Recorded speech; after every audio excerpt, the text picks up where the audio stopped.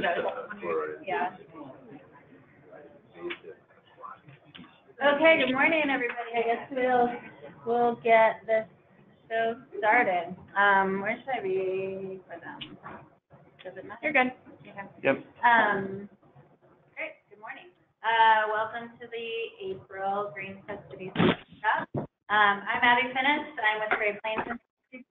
Uh, last year, I think I ran nearly all of these, and this year, we've had a team effort, which has been really great. And so, um, we've had, we've had a different mix of Green City folks running the, the workshop. Been here, but it's, it's good to be back, and, um, yeah, it's just like riding a bicycle, so all of this will, it's fine. Um, so we're gonna start with a round of introductions, and then we're gonna, the, the topic today is thinking about smart cities and, um, the emergence of technology.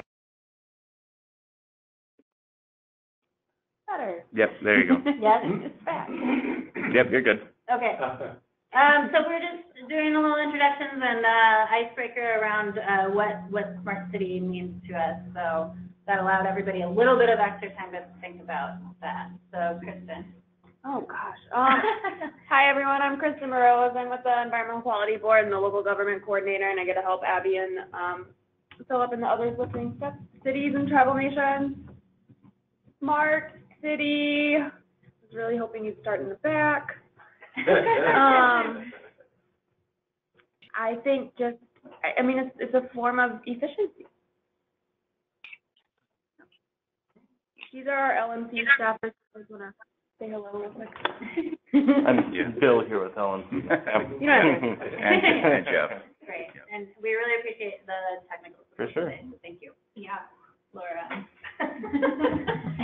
Um, my name is Laura Malwitz, I'm with Siemens with our smart infrastructure and distributed energy systems group.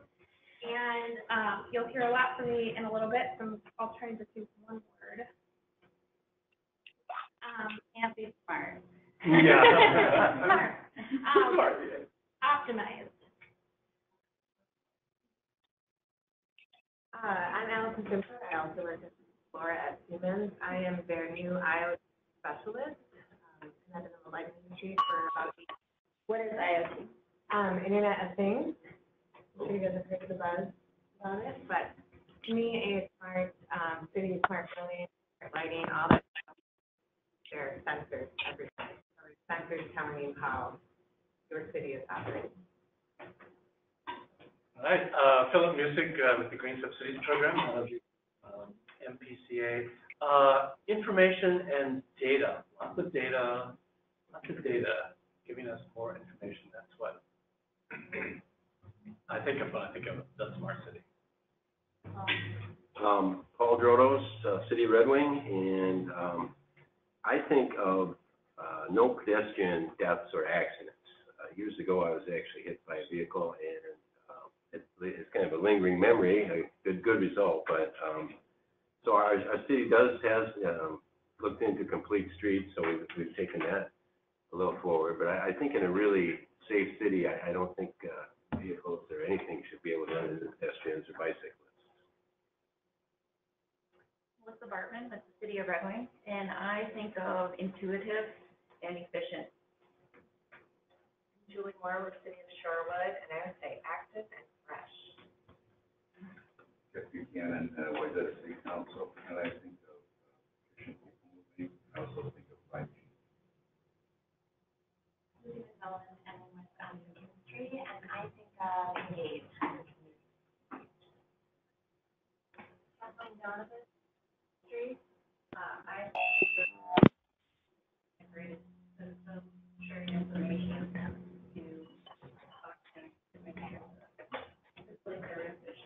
People use. I'm Don Wallace with, uh, Link Positive, and uh, energy sustainability consulting to the dev. Um, is IoT smart building space with seventy-five F. Um, I would say smart in some smart building, or smart city enablement as well. I would say, um, informed, connected, and facilitating, or having calm compute. I think to your point earlier, that a lot of things are just working in the background, uh, sensing, connected.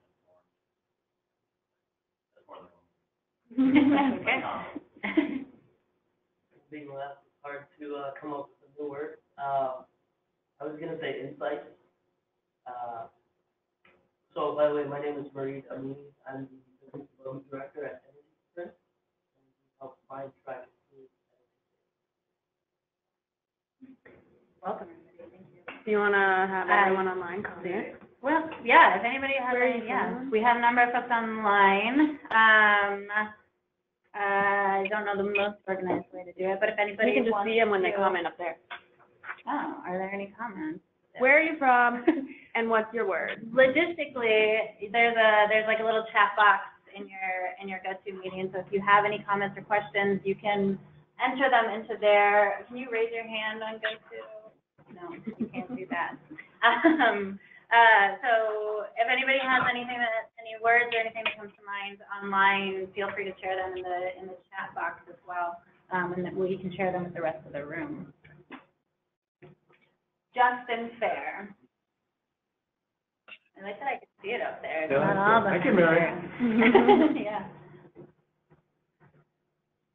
Um, great, well, so we're gonna have a couple of presentations, one from Laura Malwitz with Siemens, and then, um, Blake Redfield with the City of St. Cloud is gonna talk about a smart street lighting project that the city has done up there.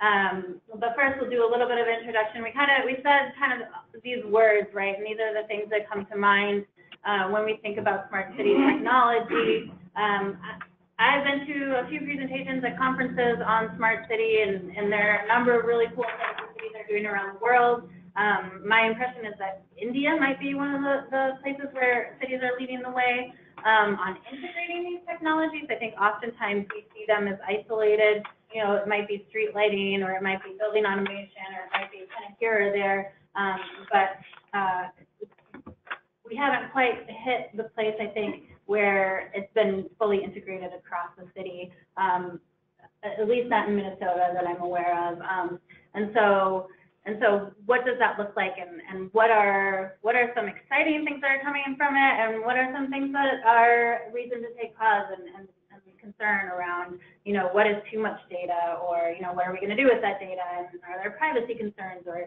you know, how do we weigh the benefits with, with some, some concerns that folks might have around, um, around these, these, uh, different technologies. And So I just sort of put, you know, what kind of came to mind, um, as I was thinking about smart cities up here, uh, and, thinking about where all, uh, this technology can fit into. And obviously, this is not the full list.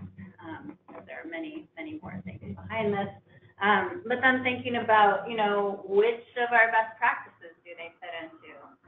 They probably fit into all of them, but these were the ones that seemed the most obvious to me, which is quite a number of our best practices. And um, we don't have really smart city. We have a little bit of smart grid in our best practice actions, and we have smart growth, which is you know, smart, but it's not it's not what we're talking about exactly here um, in the same way. And so there's a lot of room, I think, for um, considering our approach to best practices or approach to approach these actions to um, think about, you know, how do we how do we consider the technology in this framework in this context um, so that you know you don't you can you can do things the smart way, I guess, from from the get-go rather than um, trying to retrofit too much. Because I think right now, especially as cities are converting, Philip mentioned today that there was an article in the Star Tribune talking about um, the LED conversion that's going on in Minneapolis right now,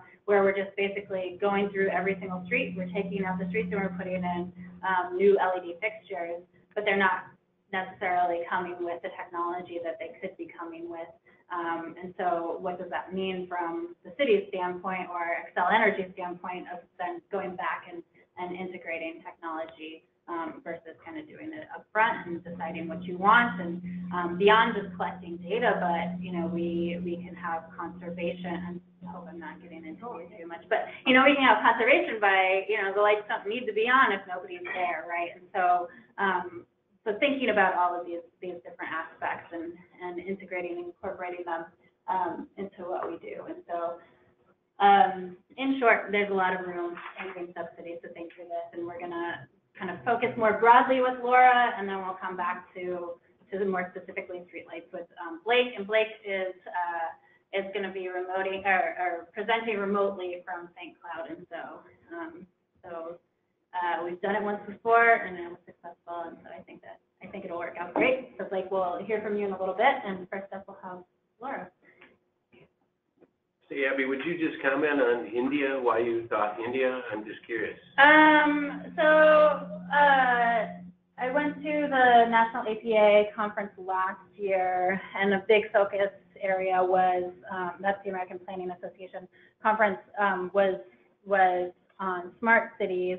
And a number of the presentations were from India, and there were, um, the, the federal government has given a lot of money to local governments to like clean up and get smart and kind of uh, uh, figure things out. And there was one government in particular that really embraced the idea of smart cities, and they went from the most polluted, kind of the worst place to live in India to one of the best places to live from about like 1990 something to the present day. And so it's just like this major transformation um, that seemed to really integrate different aspects of, of smart cities.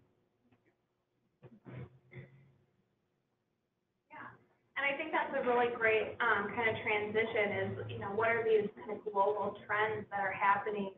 And what are the advancements that technology is allowing us to now have these conversations and communicate and learn and trade?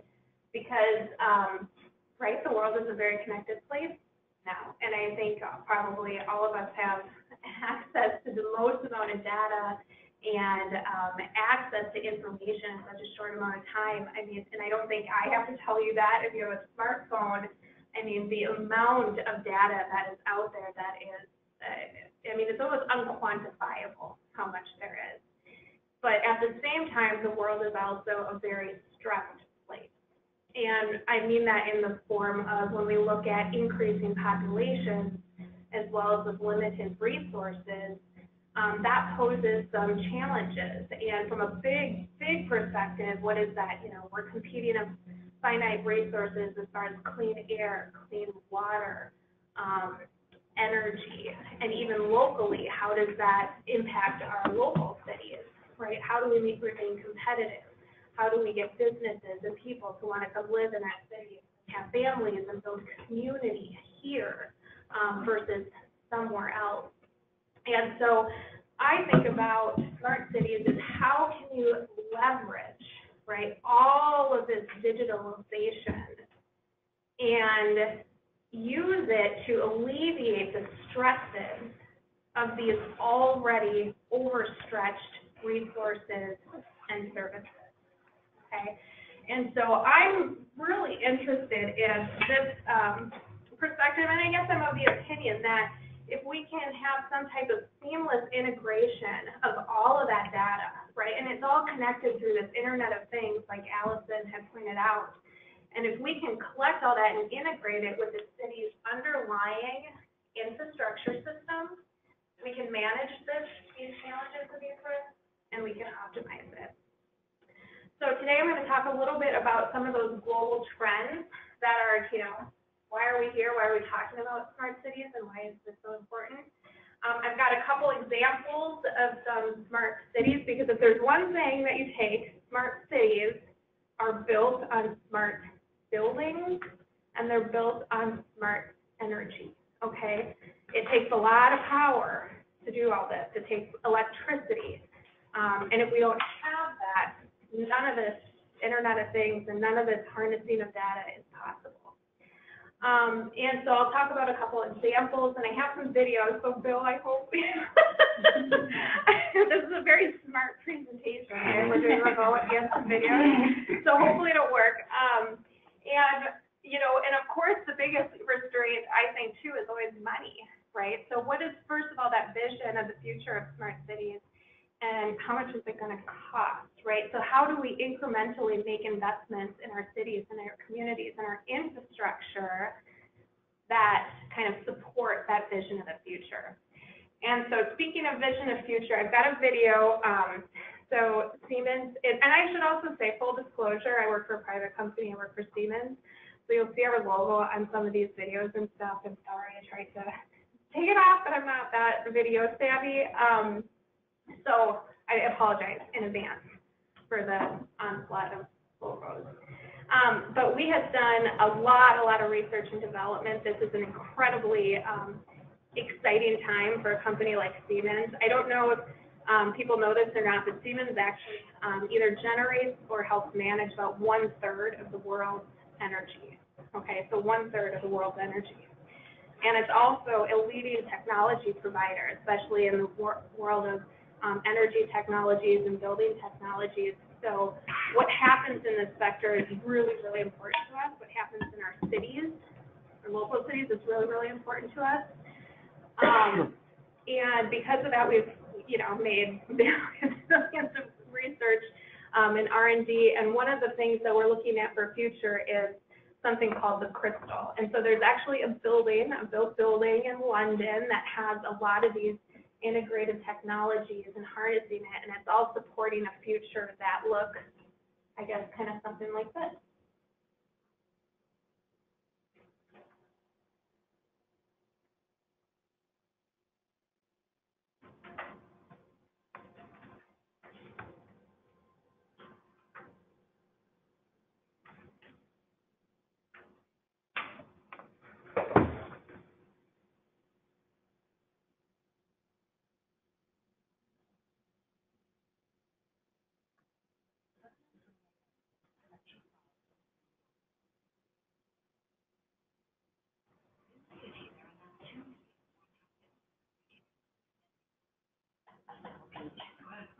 The city adapts. The spaces around us are flexible, changing to match our needs. We simply pay to use a space or an item, then give it back, move it on, or recycle after use. Many people work from home, switching between business and leisure, the real and the virtual. Individuals are important, but community is key. 10:19 a.m. Copenhagen. A surplus of energy has been generated, lowering prices. The smart grid responds, communicating with all producers and consumers. But the people in the city do not just consume electricity,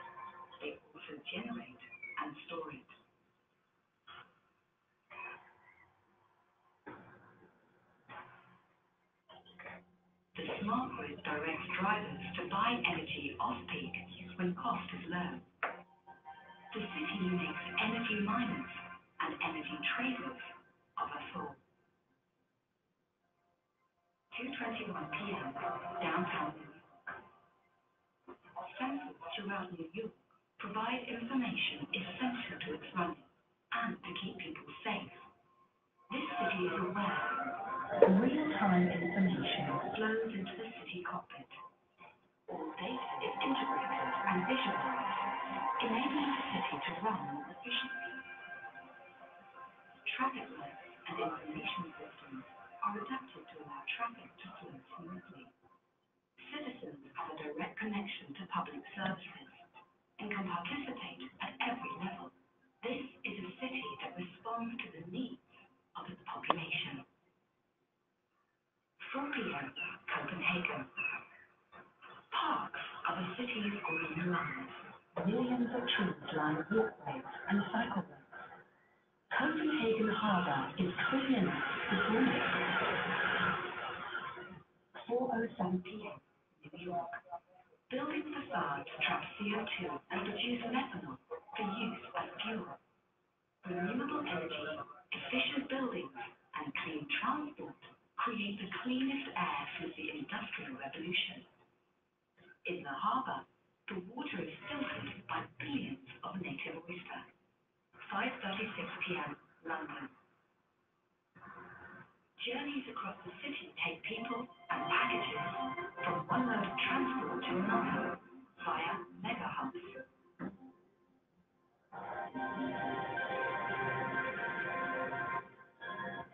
When making plans to friends, your navigation assistant plans your route. The navigation system instantly reacts to outside events and changes your route. The journey is only two stops on the underground, and then it's just a short walk to the iceberg. The city night. The city restocks, recharges, and. Jobs that can be done overnight are automatically activated. Our future city never sleeps. Its cycle.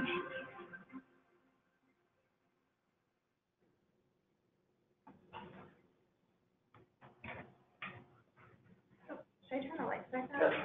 Oh, Um, thank you. Sure. Um, so yeah, I mean, it's exciting. This might be, um, you know, a little maybe big picture thinking, and I think sometimes I get the feedback of, well, that's Copenhagen, that's New York, and that's London. It's like, well, all the technologies that make that, that, that happen, it's all scalable. It's the same type of thing that could happen in Red Wing, and Red Wing could be communicating with Rosetta, right? So these are all scalable, so just keep that in mind. And as, you know, city leaders who are helping us kind of implement that future vision, you know, I ask, you know, how, how are we going to adapt, right? Because this stuff is happening, this stuff is here, these technologies are here, the data is here. Um, and so how do we deploy? And in my opinion, smart cities too, is using that data for public good, right? How do we use this to advance, you know, more resilient communities, more healthier communities, safer communities? How do we use all of this for that public good?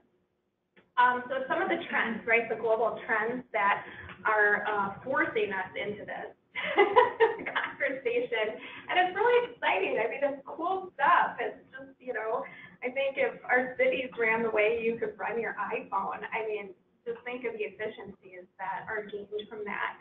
Um, but definitely globalization um, is happening, or I mean, digitalization is happening. Uh, technology is changing so fast. Um, there is so much data and there are so many devices that are connected. Um, so much that it's 163 zettabytes of data and 50 billion devices. Now, I don't know about you, but zettabytes don't, I didn't really, I'm like, how, conceptually, how much is that? Um, so how much is that? I'll ask you guys. So how many times as much as a Google Earth database is 163 zettabytes? What do you think? A, B, C, D? 2.5 trillion, 250 million? D. You're right. 2.5 trillion times the Google Earth database. I mean, that is a lot of data. Um, and how much is 50 billion devices per year? So in order for me to try and conceptually understand how much that is, I just looked at U.S. Census data for um, January 1st, 2019. So I took what our U.S. population is, okay, and I said, okay, how many devices would each person in the U.S. have to have then to make up 50 billion devices per year? So You won. D, A or D? D. That's a big range. Yeah, it's a big range, yeah, three hundred. Divided by fifty. Into three hundred. Somewhere in between there. Right, so it's hundred and fifty-five devices. Every single person in the US would have to have hundred and fifty-five devices. I mean, right now I only, I have like three. I can't even imagine what that would be. So that just gives us a grasp of how much data and how many devices and how connected our world is becoming. The other trend is also globalization. Um, I think back to, um, like, okay, if the Industrial Revolution happened 180 years ago, right, 180 years ago. That's when industry started. So that's when a lot of these concepts in smart cities are also now being re- revisited as, you know, hey, now we've got an industry, hey, now we've got digitalization. But if 180 years, in the last 20 years of that, um, the amount of trading and of the globe has quadrupled. Okay, so that tells me that there is a lot more ability and capability um, to share information across the globe and to share in economies. And that's why looking into India, what they're doing in smart cities is possible and important. The other trend is demographic change. um, the population is growing significantly, and people are living longer, okay? Um, so when I looked at, again, US Census data, if I look at the combination of birth, death, and migration levels, in the US alone, our population is growing one person every nineteen seconds. Okay, one person every nineteen seconds. And where are all these people gonna live? Right, they're gonna live, at- majority of them are gonna live in cities. Already over fifty percent of our population lives in cities. We're projecting that to grow, um, even up to almost seventy percent of our population will live in cities. So when we think about smart cities, and also you all as members and leaders of cities, um, how our infrastructure supports those cities is really important. And then, of course, climate change. You know, it's posing risks that, um, you know, technology and maybe data can help navigate a path to a more resilient future. I mean, when we look at climate change, I mean, even we felt, felt it here in Minnesota, polar vortex, right? Utilities asking us to curb our natural gas usage. That's kind of scary. Um, we're also looking at like climate refugee cities. And I was just listening to a talk, I think it was two days ago, um, in Duluth. They were having a workshop saying Duluth has been identified as a climate refuge city. And I think they were saying oh, already like one point five million people have been displaced by climate change. Where are all these people gonna go? Where are they gonna live? And how can we be safe harbors for some of those populations? And really, not a lot has changed. I mean, all these things are happening, right? But all the systems and the things that we put into our cities and our buildings really hasn't changed all that much, really up until about the last ten years. You know, our energy system is just, used to be just this very one directional thing, right? You make the energy, you send it out. And now, the energy systems today are becoming a lot more integrated and connected. It's bilateral. You can make your own energy and you can sell it to your neighbor, or you can send it back to the grid you know, it's much more fluid, which opens up a lot of opportunities for clean energy and cleaner energy economy and gaining efficiency. And buildings back in the day, right? I mean, we probably still do this. You put an air handler here, you put a boiler there, windows, lights, right? There are these things that are very siloed and they're just systems. And those systems haven't really changed all that much, again, up until recently. Now buildings are being some of the most connected assets in the world. I mean, from your phone, you can turn lights on and off. You can um, have electric panels that actually tell you now what smart meters do, how much energy is being used inside a building. Because a lot of times we can tell how much energy goes to a building and then it goes to a meter, right? And then it goes to a building. We can see what's in that meter, but once it gets to the meter, we don't know what happens after that. And that's where all the energy is being displaced. And so now we've got the technology and the capabilities to do that. And making a smart building, so another concept, another futuristic concept maybe, we saw one in the city. Um, another one is of the autonomous building. We talk a lot about autonomous cars, um, but, you know, this is also the autonomous building. And so I've got a little video on that too.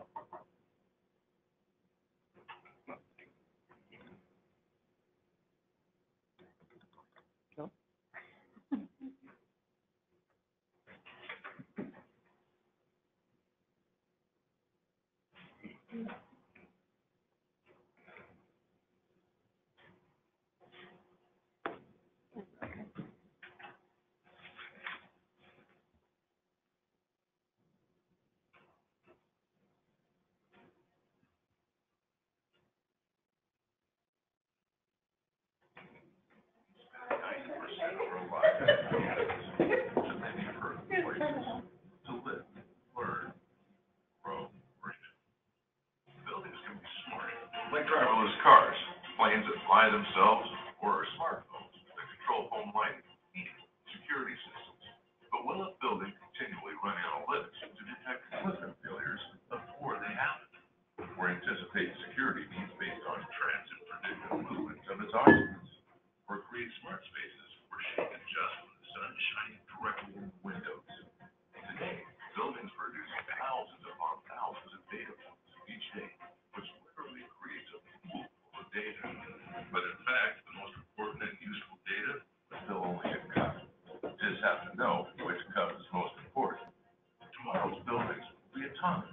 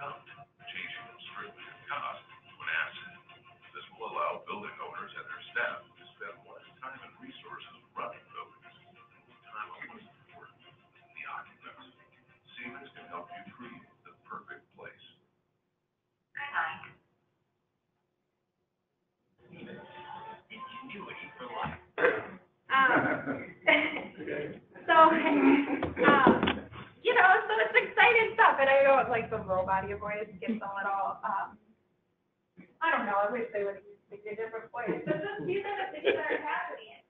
And this is what technology can make possible for our buildings, and so it's like, this is how you get to maximum energy savings, right? This is how you get to maximum, um, optimization.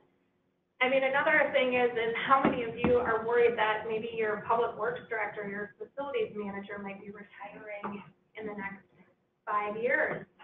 And they have, you know, know what switches to flip and how to handler keep working and this and that, and where's all that data documented? Um, and industries like IFMA are saying that when that, you know, when those people now retire, the next workforce that's coming in, only one out of five jobs is, has a person coming into it in the facilities management, public works industry. So that's also a challenge. There's a major gap in the workforce here. So we can also rely on technology to help us with that.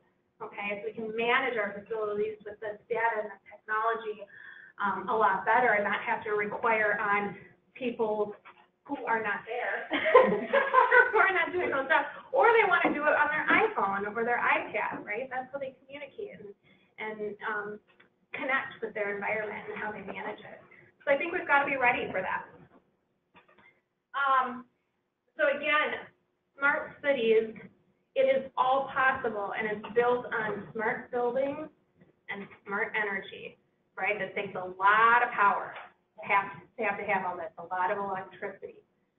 And again, you know, we're starting to see all these little microcosms now of like microgrids and um, clustered microgrids and markets emerging of being able to buy and sell energy with your community. So it's really exciting stuff. And so now I'll talk about some examples, some real life examples of um, what some cities are doing, uh, what some buildings are doing, some smart grid technologies, and also some innovative financing piece of it, because I know people always say, well, how do you pay for all this? Well, private industries are starting to fill that gap. And, um, I'll talk about D-Boom, which, you know, might not be a traditional financing repertoire as of yet, but it's, um, we're seeing a lot of traction with it. Um, so yeah, they called us, you know, smart city, city four oh, that came out of manufacturing and industry, they called it industrial 4.0, when now you can use all of these, um, technologies to optimize and make things faster and make them better and make them safer and reduce risk. And so here's just a fun little video, um, and it'll kind of lead into, to the examples that I'll talk about. It's really quick, but it's cute. The human Hello, side. from Michigan. We're pretty high tech. Thanks to our heated sidewalk, we can pump and dance down the street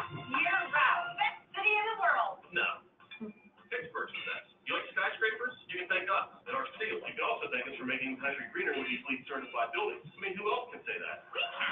We have everything right here in Brooklyn. We even make our own electricity and the whole block shares it. They don't do that in Manhattan. From energy to infrastructure, Siemens Digital Technology is giving cities even more to be proud of. Okay, so Holland, Michigan, right, the plug.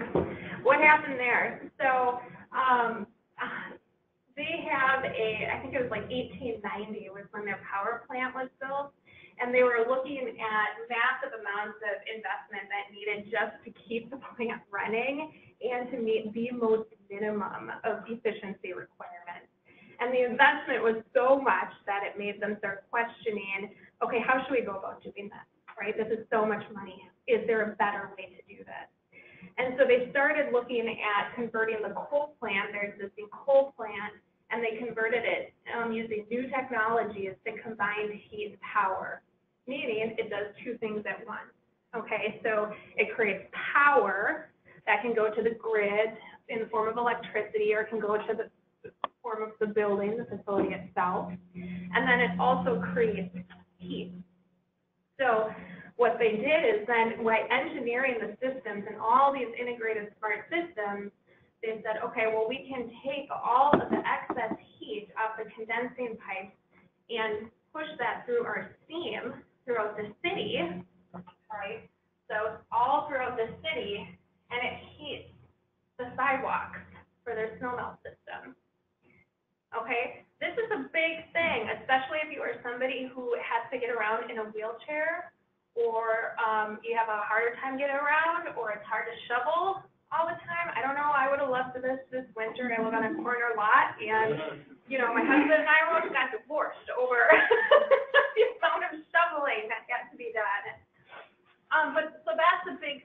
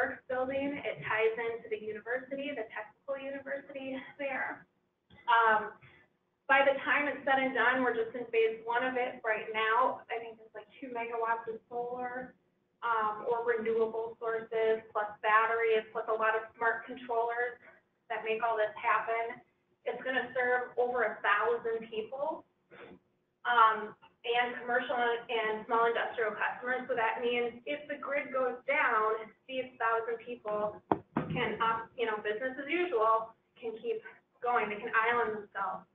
Now, there's also something in this for the utility, right? Because I said it's a partnership with the city and the utility.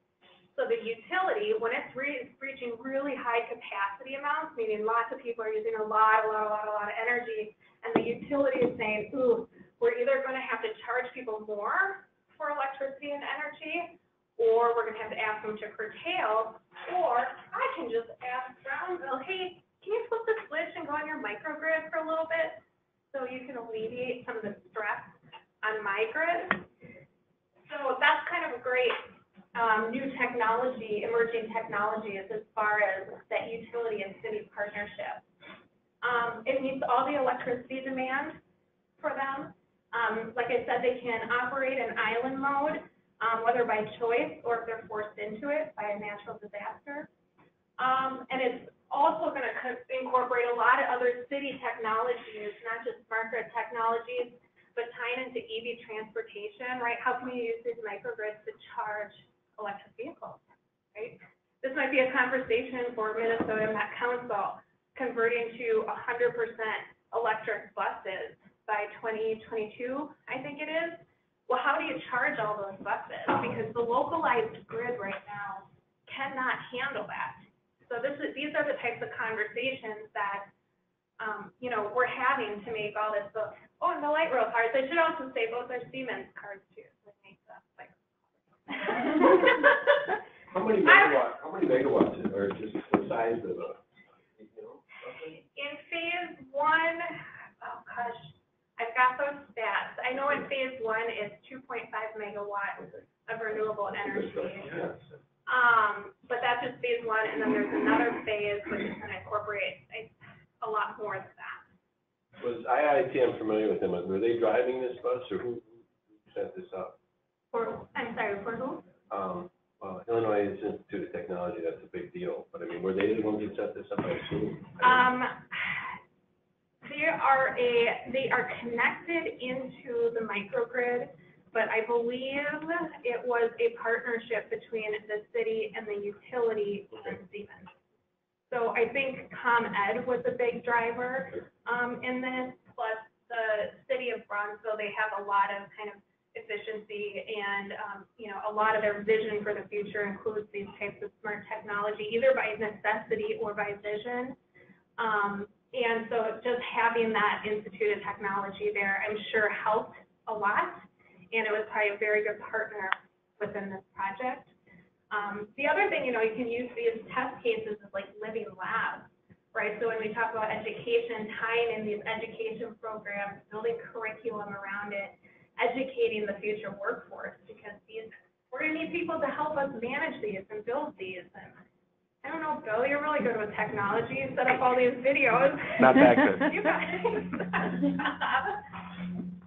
Um, but yeah, so they're looking at off-grid wind and solar, LED street lighting, um, outdoor interactive digital displays for community news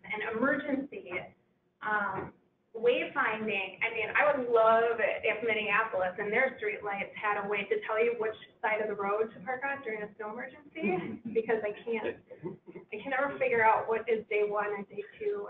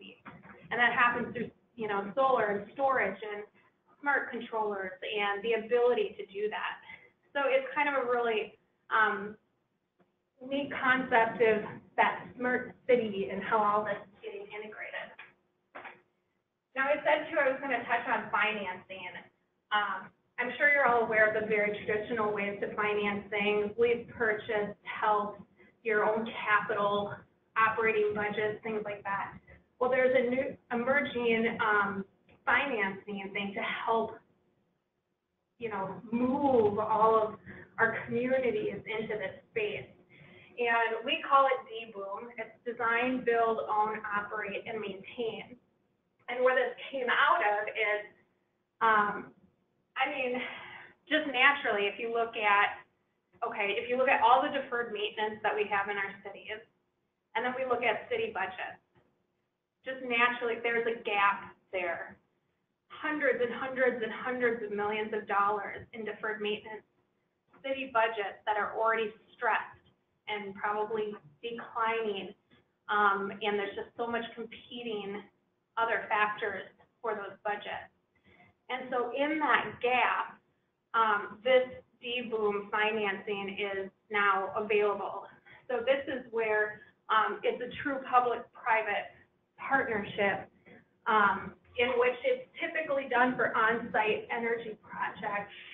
And it's where somebody like Siemens would actually design and commission a project. And then we also retain the ownership of that project. And then we also take over the operating and maintenance kind of burdens and risks and costs. And there's a reason for that because there's a very economical um, reason for that is because when you can combine up a tax exempt entity with someone who does pay taxes and gets a lot of tax incentives for buying things like high efficiency boilers or renewable energy, um, we can make these projects economical. So when somebody says to you, well, you know, what's the ROI on this? What's the payback?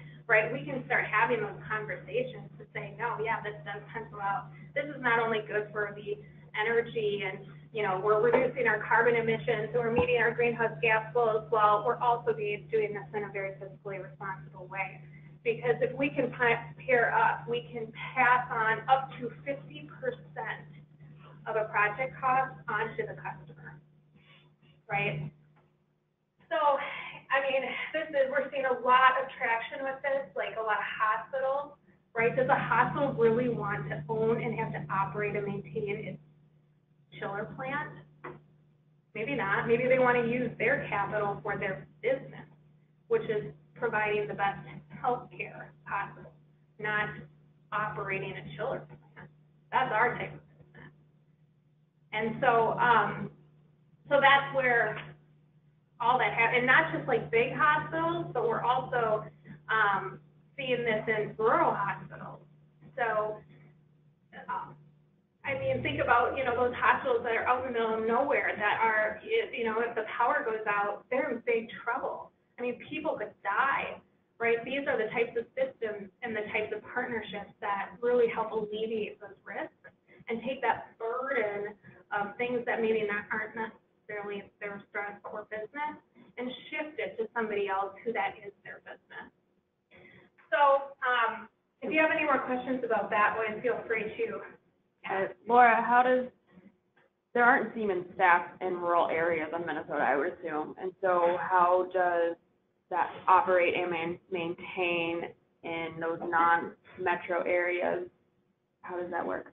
Well, um, it's a good question. So part of it, through all this technology, is kind of remote monitoring and, and operating. So we can now do this remotely. Um, we've got a whole kind of division out of Austin, Texas, which is doing this on twenty-four seven and managing these types of systems. Um, but we also do have staff. I think we've got four hundred and seventy-five employees here in Minnesota that cover every single inch. Um, and these people are trained to operate these types of systems. Um, now, some people will say, well, I, I just want to keep, I want to operate it. We'll say, absolutely, we will train you, right? We will invest in your education and your workforce development and train you how to do this. Um, so there's a lot of different options to, to do that. And I think it's a really good question because, um, that's something that we have to work in partnership together to figure out. Are there any other questions on kind of that Google concept? Just one question. There has to be a time component in this. So if you're looking out, you know, talk about savings up to fifty percent, I mean, what, did you push that out? Hmm? I think in terms of bonds, you have to, somehow you have to come to a point where your Right. bonds, you know, get over where they're a profit. So what, what sort of time frame are you talking about for Siemens? So typically how that works is, so let's say if I'm gonna buy a bunch of solar panels, right? Um, the cost to you to buy that might be a hundred dollars. The cost to me to buy that is gonna be fifty dollars. So that's the cost of the project. So I'm gonna finance either a hundred dollars or I'm gonna finance fifty dollars. Now, how you pay for that over time is what is that panel gonna produce in electricity? And I buy the electricity or the energy from that system to pay off that fifty dollars over time. So whether that's fifteen years, whether that's twenty years, whether that's five years, it all depends on kind of the economics of that project cost versus, um, the performance of that system. And so to us, that means, you know, these systems have to perform. We can't be out there just saying, oh yeah, you're gonna save fifty thousand, you know, five hundred thousand dollars in energy a year. It has, that has to happen, otherwise we don't get paid, right? So it's a way of risk sharing, um, and also being able to help finance some of these projects to get over that capital burden, which I think paralyzes a lot of us, right? We look at some of these and say, oh my God, I can't, not only don't, do I not understand it, I don't, I don't know how to pay for it. Um, this, this is inherently created, um, to overcome that. and Siemens, um, has his own bank, um, which is neither here, here nor there, but it allows us to actually invest our own money into these projects. So it doesn't get sold off to some third-party financer who might say yay or nay or do whatever with, um, your money. It's actually held, um, within the actual company that is responsible for the ownership and maintenance and performance of that system.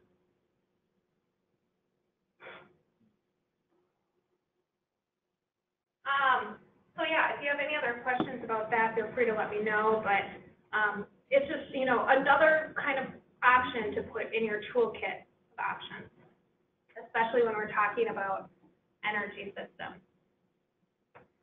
Um, now the last thing I'll kind of leave you with is.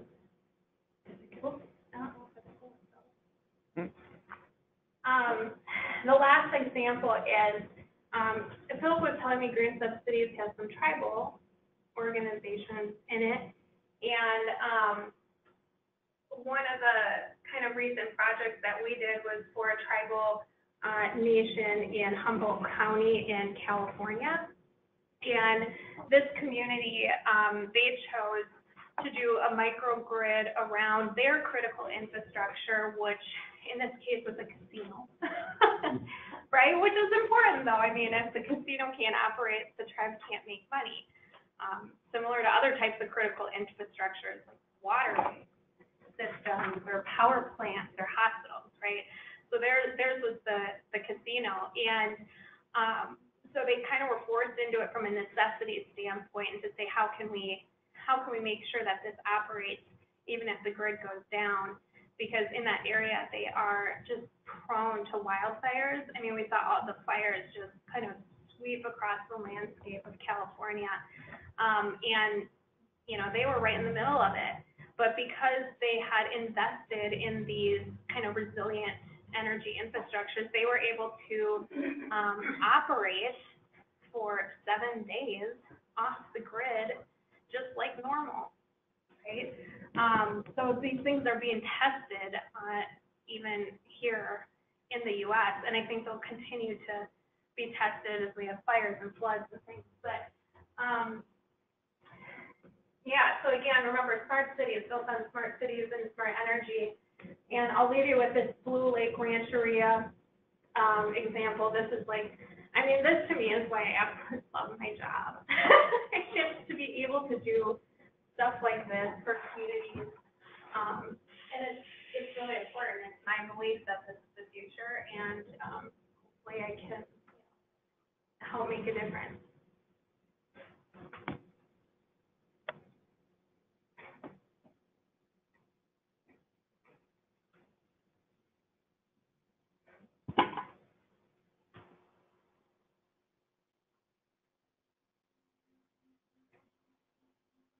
I love the land here, I love the mountains, but the earth here isn't ours. The land doesn't belong to us. It's our children's and our grandchildren and the future generations ahead of us. And, uh, we have an obligation to take care. Our tribe has been here since nineteen oh eight. We're here, this is where we choose to be, right on this small piece of land. Our job is to take care of it, not exploit it, hopefully leave it in a better shape than we found it. On this river, you can still find arrowheads on, right on the beach. They're all over. The signs of Indians living on this river, it's up and down the river everywhere. And that entire time, we were able to live here really in harmony with the land and without tremendous impact. One of the things we don't consciously do in teaching our children to take care of something is to come out and say it. You do it by action. So when you recycle, the children see you recycle. When you go out to pick up trash along the beach or along the river and you take them with you, they learn to do it. I think that's how you pass down traditions and beliefs is by showing them and involving them. Right, today, we, we can't be an island by ourselves, but we still have to maintain our independence in growing our own food, doing our own energy, our own fire department, and our own school, all the little aspects of any town or village. when we looked at energy, we had to make sure it's clean and sustainable. And this is why we've chosen to go with the microgrid. We wanted to become self-sufficient, that if we lose power and the grid went down, we would still be up and running. It's very important that the rancheria is prepared for any number of scenarios. In this area, we are subject to a lot of storms, landslides, flooding, earthquakes, tsunami, you name it, we have it here. The Siemens microgrid provides what I call life, health, and safety level power.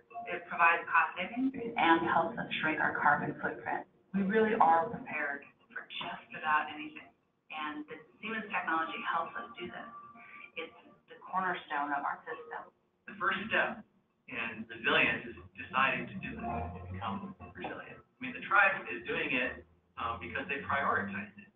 We're using the sun, which has been there for us, just the same way the tribes did in the past. Instead of doing it for food, to do it for energy.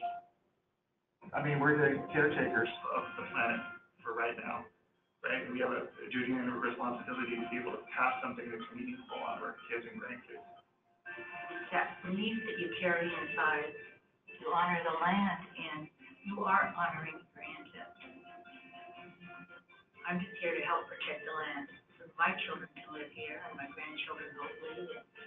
We have a responsibility and obligation to make sure that it's here for them and usable and healthy.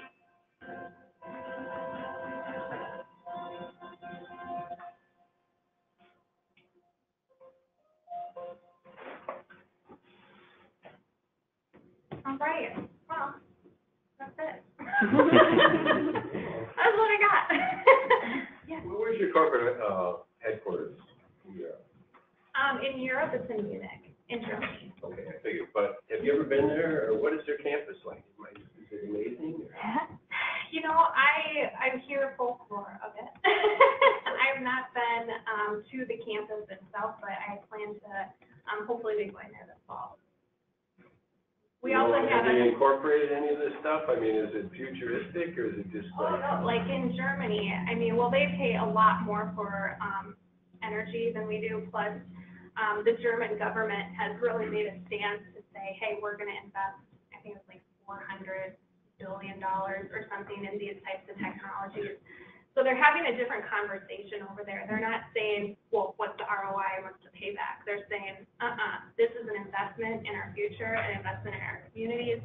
We need things like microgrids, we need connected technologies, we need green energy, um, we need smart mobility, um, all those types of things. So, um, yeah, it's a, it is that type of conversation, and, you know, you go to little farms over there, and they all, you know, to create power, and, um, you know, small communities up in the outskirts of Germany, and it's all, um, they're all creating their own energy and using it, and appropriately, the, the right size of the system. Um, so, it's, you know, it's beautiful. I mean, in US, though, our US headquarters are in Chicago, um, Illinois, and there too, we also have, um, a really cool, it's called the, um, what do they call the Innovation Center, where they have these technologies that you can actually go and touch and feel and see, and see how it all works together. So that's, um, you know, only a sixty-minute flight away from here, you can go, check it out. Yeah. You know, in, in our office, um, we've looked at buildings that, like hospitals that are required to have backup generators, and they're usually diesel generators, which are certainly not the cleanest running, they have to be tested every month. And So I, I know it, maybe it's been a few years, but someone started to go through the, just the economics of, you know, purchasing or leasing a generator and then it, testing it, and, and the pollution, run it, and, um, but I think this was, this was a few years ago, probably before battery storage was significant, but it, it just feels like there's this oppor- opportunity, I don't know if anyone's sort of cataloging the number of, of public hospitals, and and certainly you have rural hospitals across Minnesota, that are required to have these backup generators, and, so. It does feel like there's an opportunity with this sort of mission critical, uh, facilities like, uh, well, certainly wastewater, drinking water, but, uh, hospitals. Right. Um, but I don't know that, you know, I don't know if there's any like catalog list of, you know, hospitals or thinking about a plant that have, um, that have put in renewables and storage such that they really can go off the grid. Mhm. Right. Well, and we're working on a couple, um, of those types of hospital projects across the US. Um, and so it's kind of an exciting time to start thinking about it that way. Um, and, you, you know, and also think about like jails too, right? They're twenty, also twenty-four seven hour operators, um, and they suck a ton of energy, right? And there's usually some amount of land around them, and they, they should maybe have some type of backup, right? You don't want the power going down jail. So that's another area where we're seeing this. Um, I mean, wastewater treatment and water treatment plants as well. The DNR in some states is requiring that you have to have backup generation. Well, instead of just looking at a, let's say, a diesel generator, um, to power an entire water treatment plant, um, instead of spending two million dollars, three million dollars, or whatever of your own capital on that, is there a way to start thinking about, well, can I do this a little bit different? Can I somehow incorporate some renewable energy into, um, battery storage? Maybe then my backup generator gets a lot smaller. And then if I can smart control all of that and tap it into my building, can I get demand savings and peak shaving? And I can offer load sharing to my utility. Um, and do I have to own that? Do I, as a city, have to own that? Um, maybe you do, right? And then maybe it's instead of DBOOM, it's a DBOM, right? Where you just, you leave the ownership there, but you take the whole other concept and move forward. Um, you know, do we have to operate that? You know, these are the things that, are happening across the nation, again, out of, sometimes out of necessity, um, other times out of, you know, making, having a vision of the future and saying, this is how I'm gonna invest in that.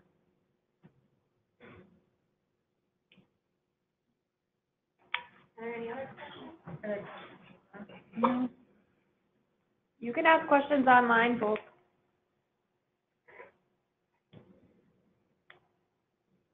I'll let you know. Uh, We've got some time at the end too, questions come up. Yeah. Um, now the other thing is, is I did bring some magazines over here. These are called our Smart City magazines. Um, I think there's two versions on the table. Feel free to take those just for fun and for inspiration and, you know, um, dive deeper into some of these types of concepts and projects. And it has a global perspective. Um, so just know that, but there are a lot of projects, um, here kind of, you know, like the Holland, Michigan project is in one of those examples. Um, Hundred Resilient Cities. I think they even talked about the city of Minneapolis, um, CYPT, right? This is the city performance tool. How do you look at everything that touches the city, whether it's mobility, facilities, commercial, industrial, and build a plan to get to carbon neutral by whatever your date is. Um, so yeah, I, I think those are just kind of fun. So feel free to take them. There you go. All right. Thank you. That's it. Yeah.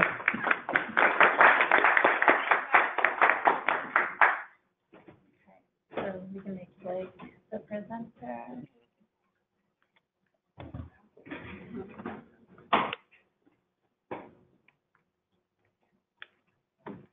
Um, so we're gonna switch gears a little bit and, um, Redfield is with the, the city of St. Cloud.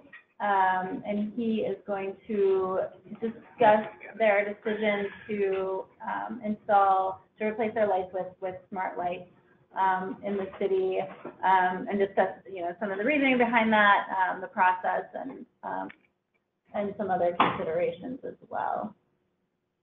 So, can we, are we able to hear him on the? Okay. Yeah, I'm here. Can you hear me? Yeah, great, welcome. Okay, um, I can't see the screen right now. Yep, Blake, I just made you a presenter so you can share the PowerPoint presentation on your own computer. Uh, the one that was sent to you or my own? Yeah, that one. But you would have it on your,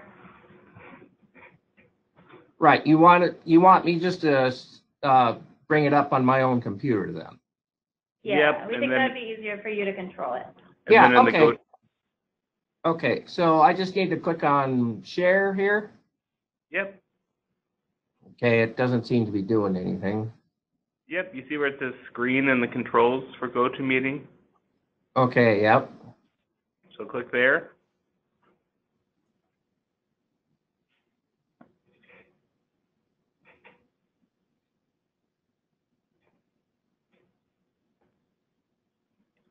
Hmm, doesn't seem to be doing anything here.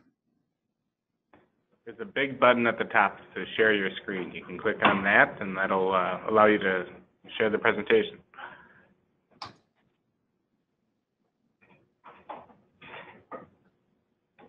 Oh. Oh, wait a minute. Okay, now maybe something's happening. Okay, I'll have to bring up the uh, PowerPoint. Just a second. I, I thought you were going to be bringing it up from there, so. Sorry, we pulled a switch on you. That's our fault. yeah. Ah. Oh, let's see, alleys. Let's see. Just a second.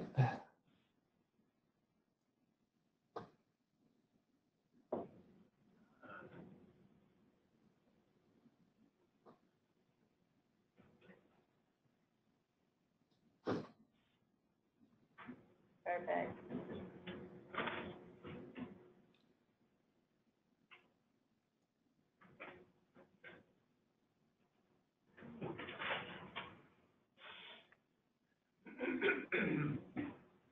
Okay. There you go, we're all you, set. Blake. Yeah. Okay. Uh, anyway, I'm Blake Redfield, City of St. Cloud, uh, Traffic Systems Manager. And, uh, we were pretty proud of, uh, this. Uh, this was actually the cover on the IMSA Journal of little old downtown St. Cloud. Uh, this was in, uh, March, April of 2018, showing, uh, some of our, uh, IntelliStreet's, uh, smart lighting system. Uh, you can see the uh, video screens that we also have.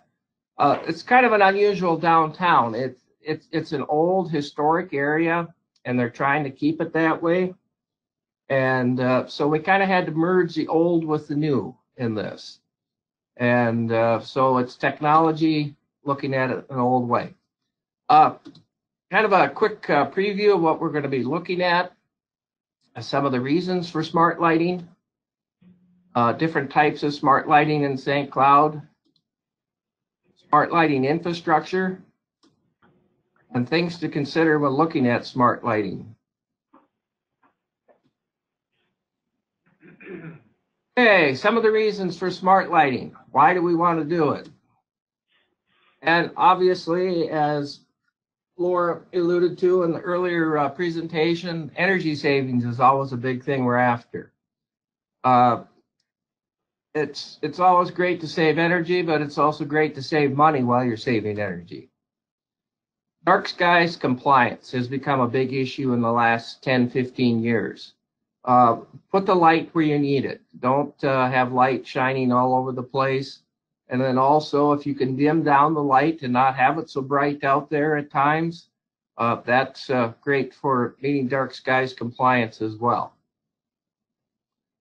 Uh, prevent, providing correct lighting levels when it is needed. And just as with the dark skies, if there's nobody out there and uh, on the street or sidewalk or whatever, uh, why not dim those lights down during those time periods? Uh, also in buildings, and that's one of the things we're going to look at here as well. Um, we, uh, in our building here at Central Maintenance, in our hallways, we cut the lighting down to 5% uh, in, in the hallways, and you'd be amazed actually how much light there is at 5%. Security. Um, we're trying to put light where it is needed and uh, not have to light areas where it's not needed. Lighting electrical power monitoring capabilities. There again, as Laura was mentioning, uh, the data that comes with smart lighting. Uh, it's really nice to know uh, what your energy usage are uh, in a much more complex fashion than what we've ever been able to do in the past. Uh, dimming and control capabilities, uh, as we'll see in some of our uh, systems, uh, it's it's amazing some of the different features that you can do nowadays. And then unique lighting and specialty features, uh, especially true in our downtown IntelliStreet system. Uh, basically, we have about four different major types of systems that uh, we have installed that are we would consider smart lighting. Um, and our first generation would have been when we started doing updated uh, LED lighting in our project in 2010, 2011. There's no control or monitoring on the system, but uh, we have seen significant energy savings from that. Uh, a, a system that doesn't get talked about a lot, but it's it's called hardwire dimming. And actually, we're doing that uh, within our buildings here in a lot of ways. And then these are three projects covering larger areas. Uh, the St. Joseph Park and Ride I actually designed that about four years ago. Uh, we detect when vehicles come in and out of the lot, depending on what time of night it is.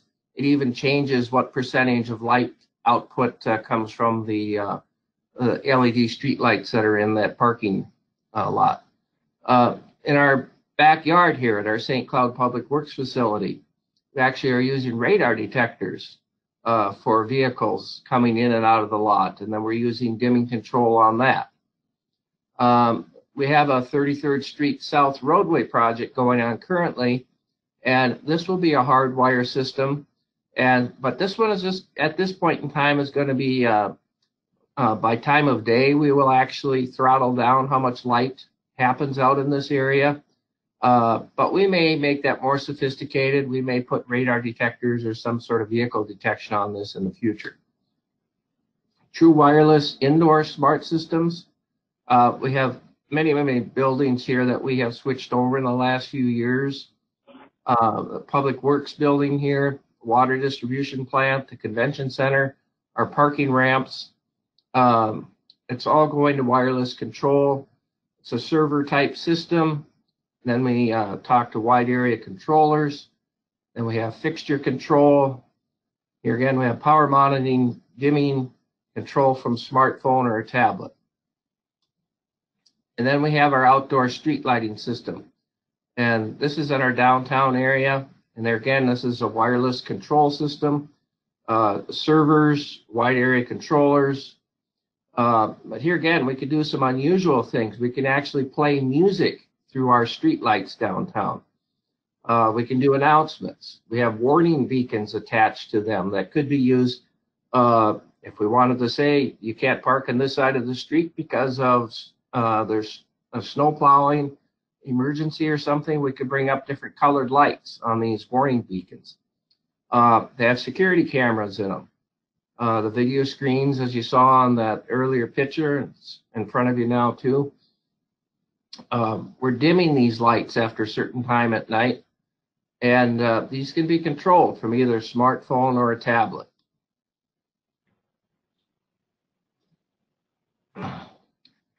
Uh, this, like I say, was kind of our first project that we did back in 2011, 2012. And our main goal here was we wanted new decorative lighting, uh, primarily to reduce maintenance, but also to reduce electrical costs.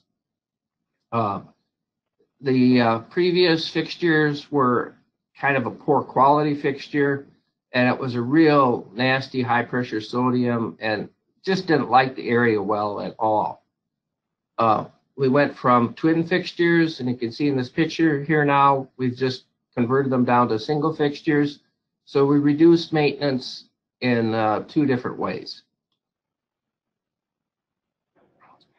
Uh, it was kind of a, back in 2010, 2011, it was still kind of the wild west of uh, LED lighting. And I was not happy with a lot of the test results and photometrics and things we were getting from the manufacturers. And so we actually have put together our own lighting lab here that we can uh, test photometrics, we can do spectral analysis on lighting, we can do color rendering index, Uh, we can do just about every test that they do at the factories now. And, uh, we, uh, we learned a lot of things and, uh, we, we tested a lot of different light fixtures before we really found what we were happy with. Uh, the fixtures that we've chosen have become citywide standards because of quality of the fixture and product support. Significant energy savings and maintenance savings on these fixtures. And the crazy thing about the whole thing, our greatest maintenance on this set of fixtures is replacement when these get hit by vehicles.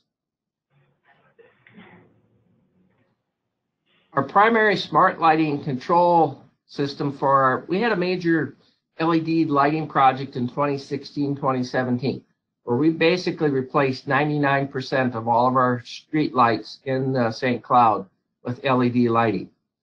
Um, I looked at a lot of different uh, systems. The problem with most systems is they're just that. They're systems, and they're typically good for about 10 years, and then you end up replacing them with something else. I wanted to look at something that uh, was going to have about a 40 year lifespan and and that it could be uh, revamped in the future if we wanted to. And so we actually developed a whole new generation of lighting cabinet that uh, we have used uh, throughout the city here. Uh, in, incorporates zero crossing solid state relays for reduced surges to the lighting circuits Use a staggered circuit turn on to reduce electrical stresses. Uh, a PLC in it allows for external inputs and outputs for special functions such as hardware, hardwire dimming, talked about a little bit earlier. Extensive surge protection incorporated into the new uh, lighting cabinets. Uh, the P PLC provides hours of operation. We actually know how many hours that the lights have been on each year and then we record that. And then also there's a cooling fan in these cabinets. We record how many hours of operation those have run during the year. And then also we developed a little product you can see in the lower right-hand corner of your screen there called a soft start module. And that slowly turns on the light fixtures rather than the instant on that LEDs uh, are, are known for. And this uh, reduces the surges, and uh, is going to extend the life of the cabinets or, or, of the fixtures and the cabinets and everything out there. Uh, we have more than 40 of these uh, cabinets on the street now, and uh, and zero failures out of them. Uh, very happy with uh, this product.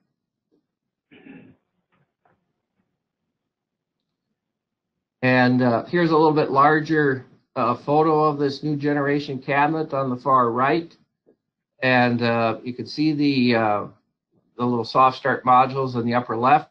If you look at that uh, picture on the middle upper uh, in the center there, you'll see those spikes on the leading edge of those square waves. And that's current spikes that are created when you turn off and on an LED fixture. And uh, by using our soft start module, and a zero crossing contactor. If you look at that uh, picture down in the lower left, that is what we have reduced the spikes to. They're virtually non-existent. And then when we have the staggered turn-ons, that graph that's in the middle, in the center there on the lower, uh, that's what the current looks like as light fixtures ramp up on a system uh, in one of these cabinets. And then we turn them off in a staggered fashion as well. Hardwire dimming control, as noted uh, earlier, this is what we're doing uh, in several places, including our back lot here at Central Maintenance. And uh, we actually are using microwave radar detectors like they used to use. These were just surplus devices we had in our inventory. Uh, we typically don't use them anymore. It's all video now on our traffic signals. And so we, we had these in stock. Uh, they, they've worked out great for this application. But if there's no uh, traffic back here for like 10 minutes or 15 minutes, I don't remember what it is now, uh, it will uh, ramp these up to 100% when a vehicle is detected. drop them back down to around ten percent when there's no vehicles out there. Uh, the zero to ten volt DC dimming control, which LED fixtures come with now, has been a, a real godsend for us and ways that we can uh, work with them and control them like we've never been able to do before. Uh, the, nice thing also, this is a low initial cost. There's really no system to deal with or to maintain. And it's been a great energy saver back here too, because these are fairly large fixtures. Uh, even an LED, they're 300 watts each. There's four of them on each pole. Uh, when we throttle them back, they're like 30 watts each. This is our IntelliStreets lighting program or project that we did in downtown St. Cloud. Uh, we wanted to do decorative lighting. It's a little bit different than the one shown here, but it's similar idea. These are programmable in ways that we still we're still working on trying to figure out all the different things it can do, but they're they're really quite amazing for dimming and uh, you can even special order these that uh, if you want a special celebration going down in your downtown area, you could have uh, red light or green light or yellow light or whatever colored light you actually wanted coming out of it. We don't have that capability on ours, but it is available. Uh, turn on and turn off times. Uh, you can do several different things. Uh, we're actually uh, using, um, oh, the term slips me right at the moment, but uh, by the uh, actual daylight time that we have in our area here. Uh, dimming by time of day, after a certain time at night, we dim these fixtures down. Uh, music and special announcement capabilities, and uh, they come from this area right in here. Emergency beacon fixture. This little white area up in here is a beacon that can be yellow, blue, red, green, uh, almost any color that you can imagine that uh, you could set up for uh, special meaning for your downtown area. You can also strobe these in a sequential manner. So if you had them, and like if you needed emergency evacuation out of your convention center or something, you could strobe the things to show people what direction to head out of your downtown area or whatever area that you're uh, trying to get people evacuated from. Uh, we have also put security cameras on these. Now they're showing a real small security camera here.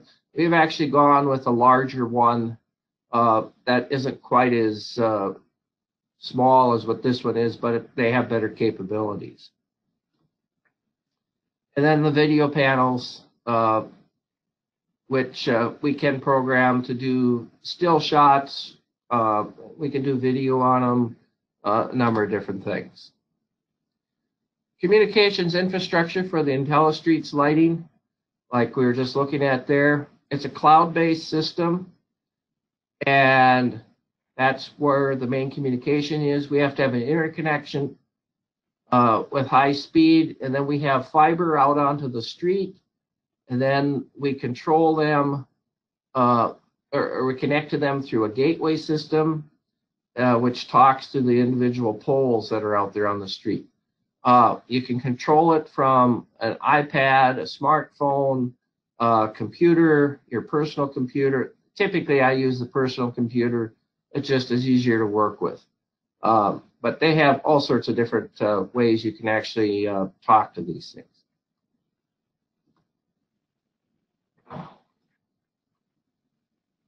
And I guess you kind of, yeah, the gateways, you have to have multiple gateways uh, in your downtown area or the area it's going to be in. Uh, yeah, we pretty much covered those. Oh, yeah, and then you can create districts. That was one thing, so that uh, you can aggregate these things in whichever way you want to. Uh, and so if you want one area of town playing a certain type of music and another area of town playing another kind of music, you can do that. and they all synchronize with each other, the ones that are playing music uh, of the same sort, so that they uh, it doesn't sound like one's ahead of the other. It, it's really pretty amazing how that they all work that out. Uh, and our building smart lighting, we've gone to the Daintree system, uh, which was originally developed in Australia, and uh, it, we've we've had a very very successful uh, time with this. Uh, here again, the infrastructure, it, it's interesting because when you start looking at these systems, infrastructure becomes very, very similar from one lighting system to another. Uh, here again, it's a cloud-based server system. Uh, lighting devices are controlled by groups or individual connections. So if you want to, uh, if you want a very granular type uh, system, you can have a control device on every single light fixture, or you could have like if you had a strip or a line of light fixtures, eight or 10 light fixtures in a row that you all want to control with just one unit, you can do that as well. Um, occupancy lighting units and other sensors connect to the wide area controller. They call it a WAC here. A uh, little bit different terminology, kind of the same infrastructure as our other system. Here again, uh, other systems or devices such as heating, cooling, alarms, all can be integrated into these systems. Here's one of the things that's really cool with uh, with the Daintree system is that it's it's very user friendly and it gives you some very very good visuals. Here it's showing if if we were not running controls on these groups of lighting, this is what our electrical costs would be for those months, if you look down there.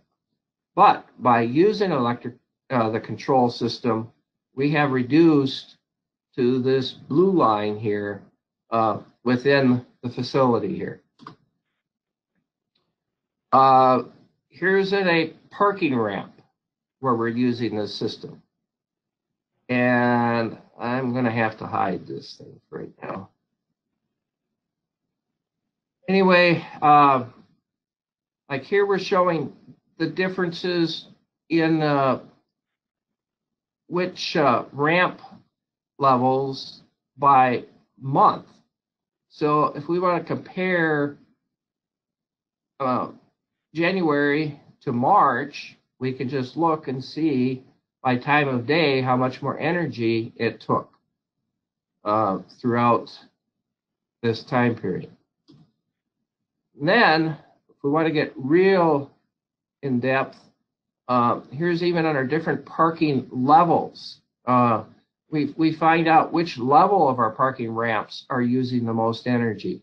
So like here, our roof parking level five is using much more energy with the lighting up there than what the other levels are in the different groups that we have. So very, very in-depth uh, information and, and just very, very data rich in, in what you can get out of out of these systems. Here's just some uh, quick uh, considerations when you know looking at smart lighting systems.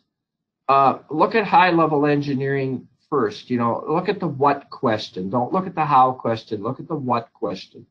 Determine the main purpose for installing your smart lighting systems. What do I want to do? Review the licensing and cloud service costs. Uh, there's none of these systems that are free.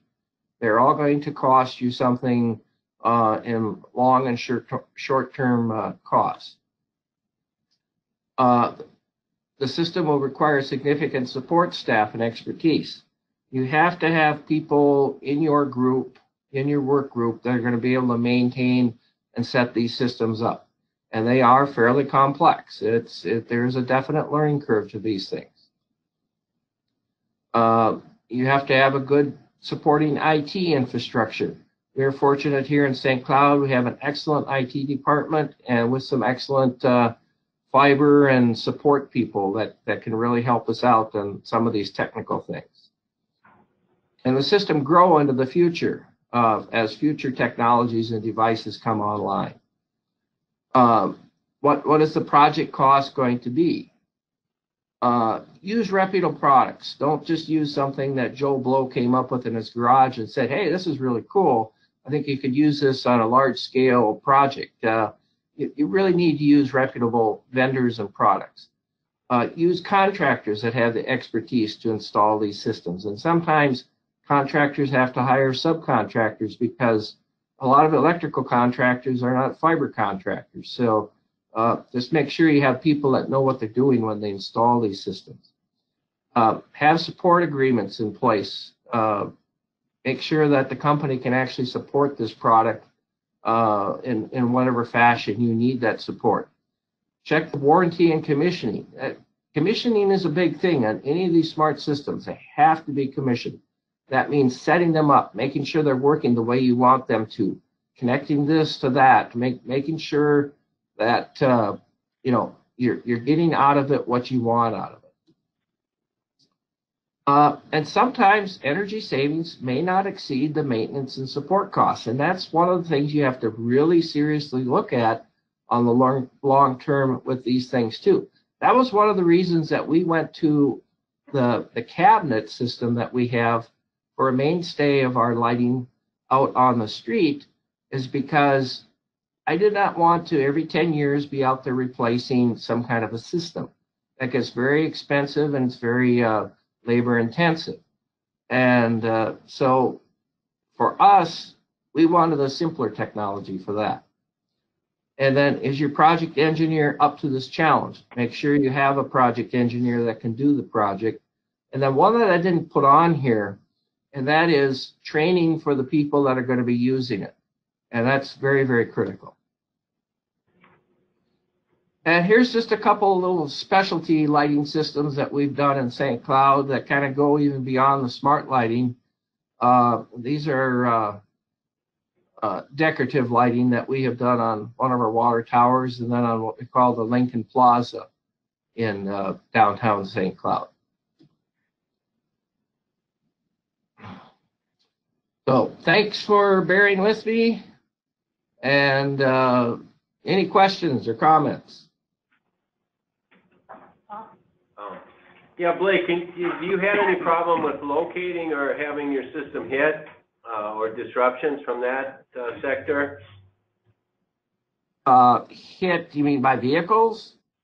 No, I mean underground, I mean, just, uh. Oh, or strikes? Uh, From yeah, there- yeah, there's always that chance. You know, there again, we have our own locating staff here. We're making sure that when uh, something's going on, uh, you know, the locates are getting called in and we're out marking it.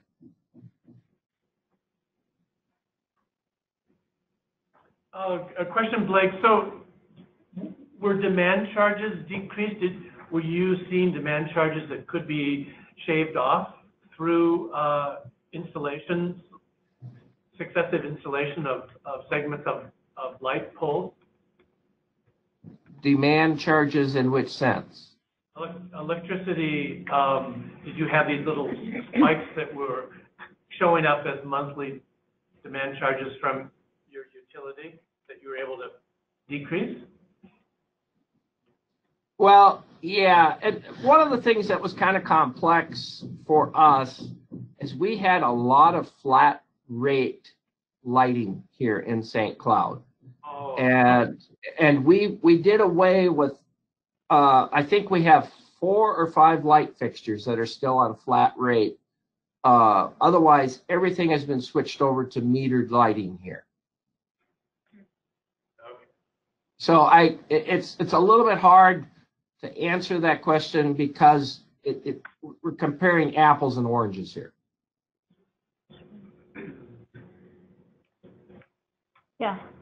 Blake, this is Ben Wallace. And just curious what you found to be the most valuable or intriguing application from a communication standpoint? And mean, have you had a chance to use the strobing for directing traffic or any of the audio aspects aside from music? Just curious if there were any kind of, anything that really stands out. Um, the the video screens are are a big thing for us. Uh, we have them going all the time with the information on them about downtown St. Cloud and things like that. Uh, the music, uh, I was a little surprised. Uh, I actually had kind of some negative feedback on the music because, oh, no, no matter what you try to put out there, somebody hates it. But uh, yeah, uh, communication out there, you know, I, we only do the music for maybe a half a dozen times a year now, just because of kind of the uh, like we had the Veterans Day parade, so we were playing patriotic music there and you know stuff like that. But we, we certainly don't do it on an ongoing basis.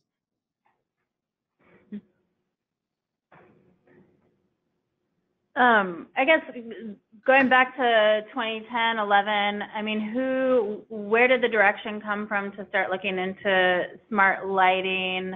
Um, and then how did it evolve from sort of standard LED switch out into these, these lights with more capabilities?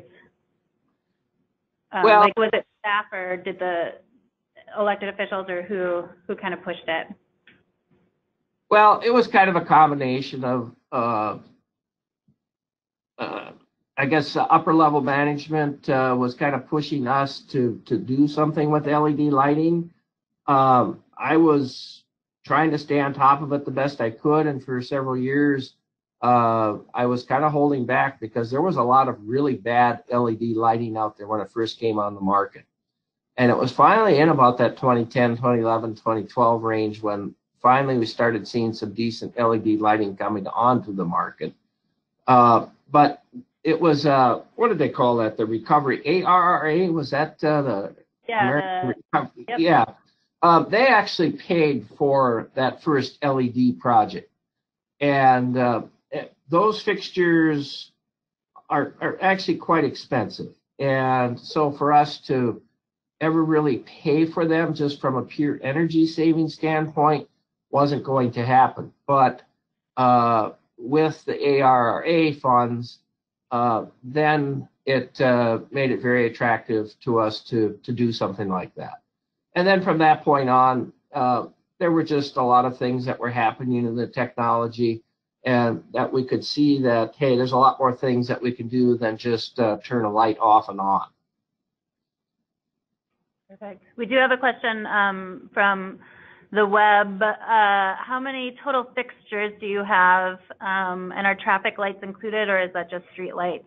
And then I'm going to tag onto that. Does the city own all of these, or are there some that are owned by the utility? The city owns approximately half the streetlights in St. Cloud. Uh, right now, and I mean, we're small potatoes, I realize, compared to a lot of the big cities. Uh, I think we have about 2,500 streetlight fixtures, and the power company has right at 2,500 streetlight fixtures in town. Does that include the traffic lights? Oh, I'm sorry.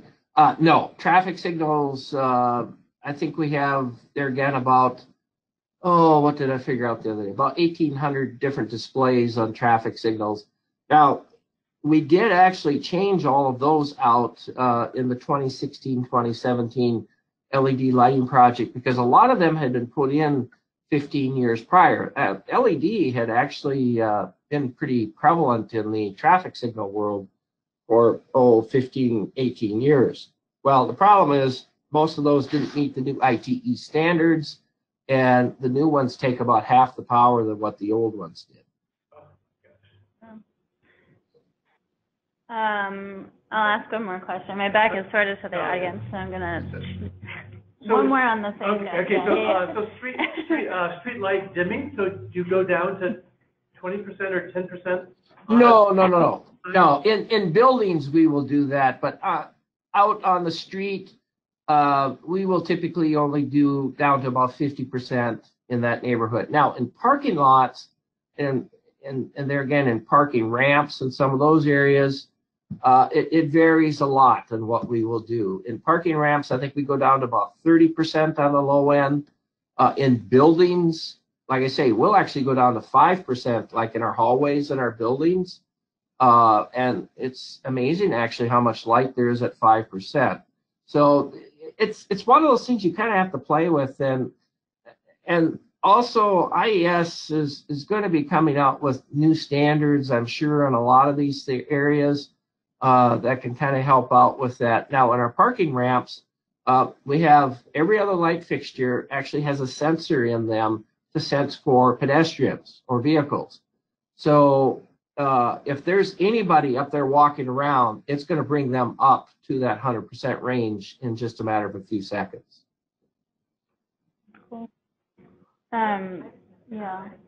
Um, I know we talked about the wild, wild west of LED back in the early two thousand tens, which was a real thing. I've been, I was in the lighting industry at that time, and it is, you got a lot of people that were making stuff out of their trunk and trying to sell it to, you know, cities and government officials, but I just want you guys to be aware that this is kind of where the IoT is right now too. There's a lot of people out there that are trying to get into this technology so they can make a quick buck. So before you invest in smart lighting or any IoT infrastructure in your city or even in home, make sure that you do research on that company and see how long they've been around. They've been around for less than five years, I'd run the other way.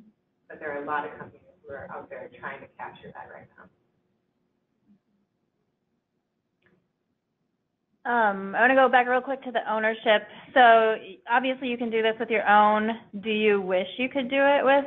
I think you have Xcel out there. Um, or do you, does that structure work out okay for the city as well? Well, actually, uh, the power company has updated most of their street lights here, and they actually went with the same brand that we did. So uh, we have actually fairly consistent street lighting here under the Xcel area. Our problem is we actually have four different energy companies here in the St. Cloud area. So it gets a little bit confusing at times as to who's doing what. Right. Um, Blake, you mentioned your city lighting lab. Uh, is that something that you'd be open to other cities if they want to test out something that they could maybe stop on over and and and use your lab for and your Oh, ab- absolutely. That actually, that's one of the reasons we have it, uh, is, is a training center.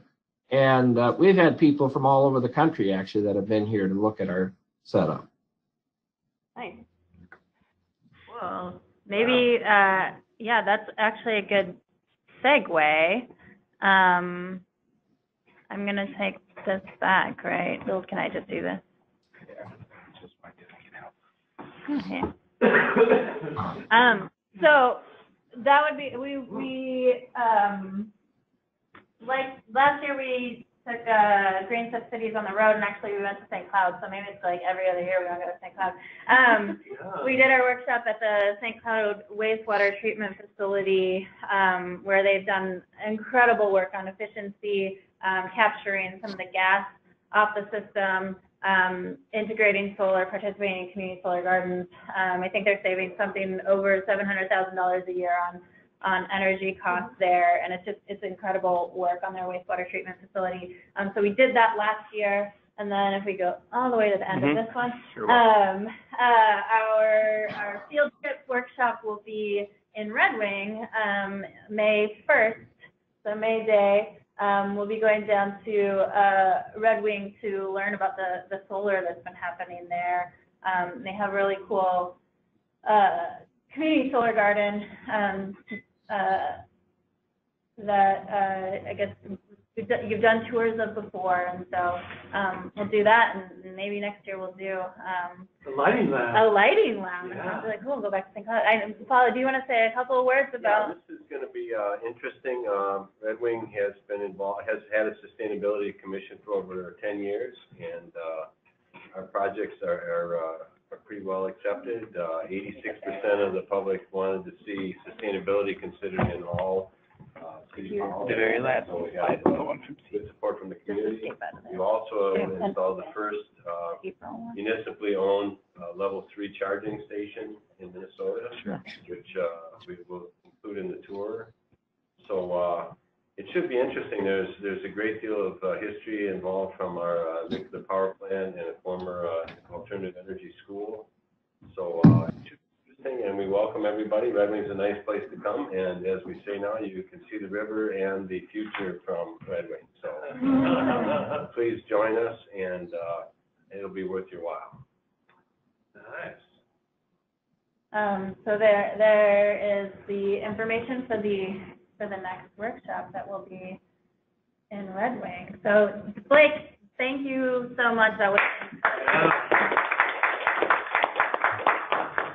Um, I just, I think like that's incredibly fascinating and there's so much that we can do with them. And so it's really exciting to see St. Cloud, um, starting up a lab and testing it and looking at all these different options, um, making that available to other folks as well. And, um, thinking about it, I control several lights with my own phone, my house. So It's great. Um, you know, you can do so many different things. I think that there's just an abundance of technology out there that we can take advantage of. Um, uh, and, and just make work for us. Um, so, yeah, well, uh, Abby, will the May workshop in Red Wing be a webinar too, or is it just in person? I think it will, I mean, We'll will- let you know. It will probably primarily be in person, but we could probably do the presentation portion of it via webinar. But we need to work out the logistics on that.